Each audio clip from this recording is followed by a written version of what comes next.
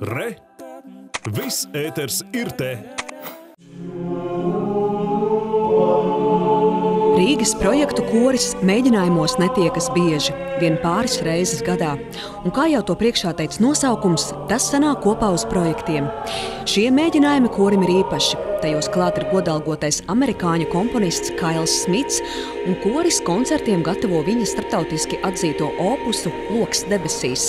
Latvijā tas skan pirmo reizi. Manuprāt, tā mūzika ir nu, um, vislabākā no amerikāņu mūsdienīgo komponistiem. Un tāpēc man bija tā doma, ka uh, vajadzētu kaut ko vest uz Latviju. Un tad es dibināju šo kori pirms pieciem gadiem, un no sākuma es baigi negribēju ņemt daudz ko amerikāniski, jo es negribēju, lai mana reputācija būtu tāds amerikānis, kurš diriģēja tikai amerikāņu mūziku, bet tad pagāja pietiekami daudz laiku, un tad es, es domāju, ka ir laiks nu, ņemt tieši šo mūziku.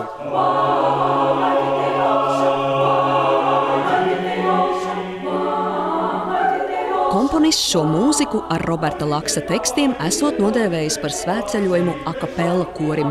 Viņš ir gandarīts, kā šis svētceļojums izskan rīdzinieku balsīs. Šī kora skanējums ir patiešām pārsteidzošs. Dziedātāja balss skan ļoti silti, mīļi un jaudīgi. Koristi dzied ar lielu mīlestību un meistarību. Esmu aizkustināts.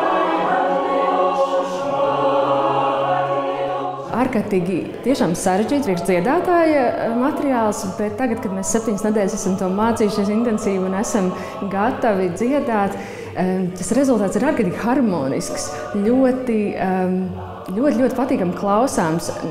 Visādas interesantas nianses ir džeks, ir, ir, um, ir melodija, ir, ir tiešām kaut kas pilnīgi jauns. Ja vēl iedziļināties vārdos, ļoti skaisti dzēja par to vienīgo dziesmu, ko mēs dziedam, kas ir patiesība. Ļoti iedvesmojoši. Un neparasti tāda, un atšķirās tomēr no tās mūzikas, ko varbūt nu, ko mēs vairāk dziedam, latviskās mūzikas, bet, bet ir ļoti interesanti. Šo sestdienu šī Kaila Smita koncerta programma izskanēs Latvijas Nacionālās bibliotēkas Ziedoņa zālē, bet svētdien Daugavpils Jaunavas Marijas bezvainīgās ieņemšanas Romas katoļu baznīcā. Abos koncertos kā īpašais viesis būs klāt arī komponists. Zāne Brikmane, Andris Spriedītis, Latvijas televīzija.